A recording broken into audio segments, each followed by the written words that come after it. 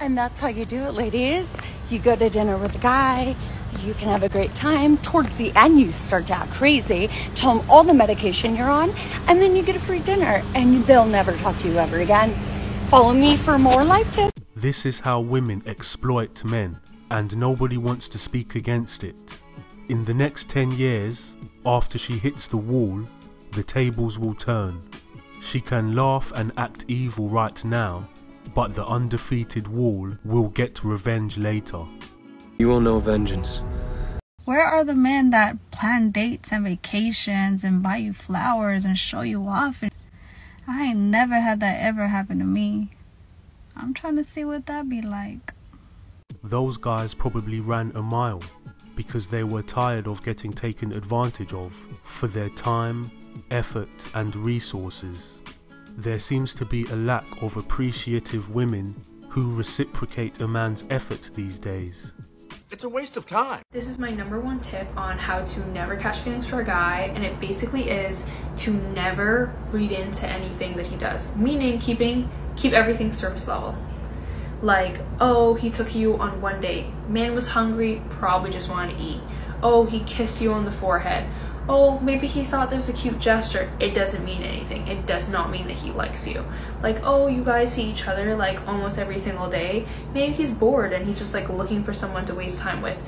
Never ever look into his actions like there's some type of emotional attachment to them because there's just nothing, you know?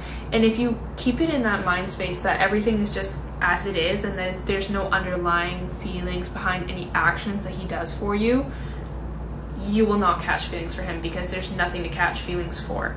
Everything is just exactly what it is and nothing more. I think it's interesting how women can't be affectionate without making it a big deal. Guys can be very affectionate with a woman inside and outside of the bedroom, but will never want to commit.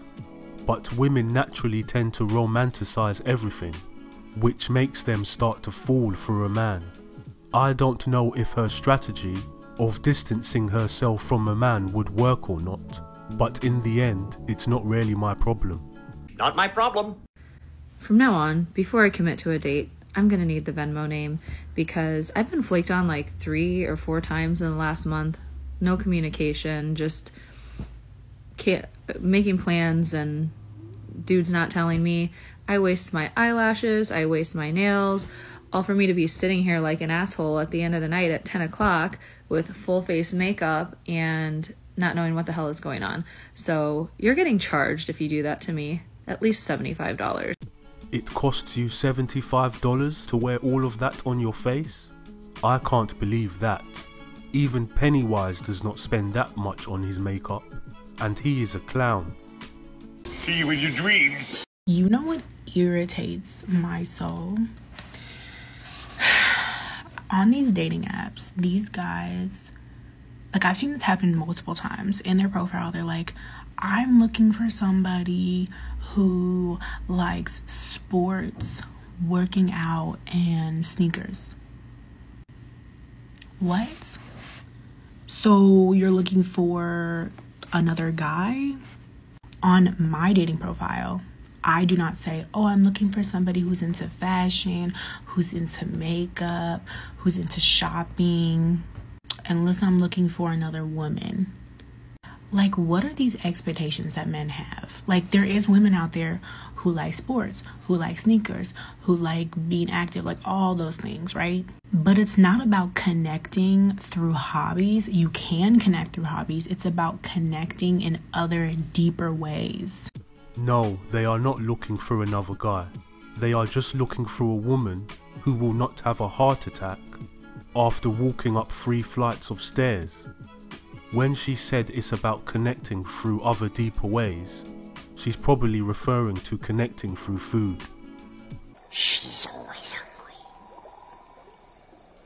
Okay, I'm having like a dilemma in my head because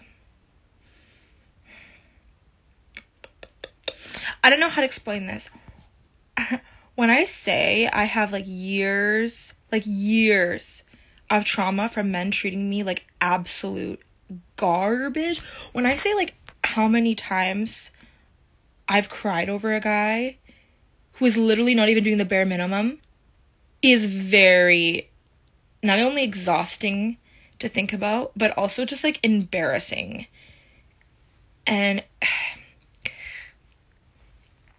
I, I've got stories, but needless to say, I'm dating a guy that is like treating me so well. And I'm like, are you, are you real? This is what happens when women choose to date guys who are bad boys. And regardless of how much these guys put them through, they stay with them for the amount of time that she did.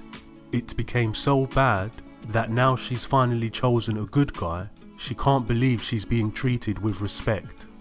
Unfortunately, it's possible that she's going to sabotage this new relationship because she'll bring old negative behaviours into this new relationship and he will have to become her therapist. I hate therapy. Happy New Year's Eve, y'all. This from all my baddies. Baddies, we leaving stressing in 2022.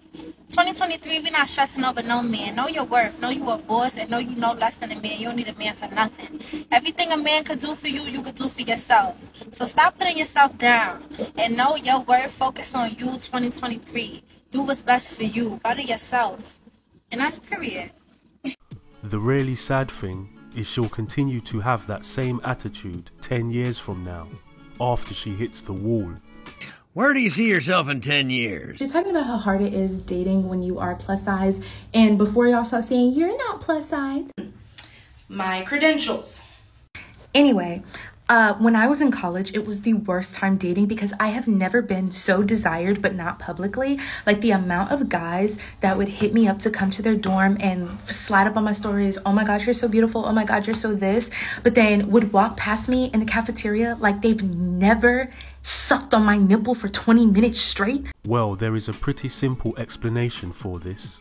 He did not want to bother you in the cafeteria because you were waiting for your food.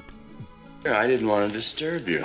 If I come home from a good date and it's been a few days and the guy still hasn't texted me, like after one or two or three dates, my first thought, because I'm delusional, is damn, this guy has no game. or I'm like, wow, he's so boring, he doesn't even know what to say. Or like, he's so intimidated by me, he's like really trying to play hard to get.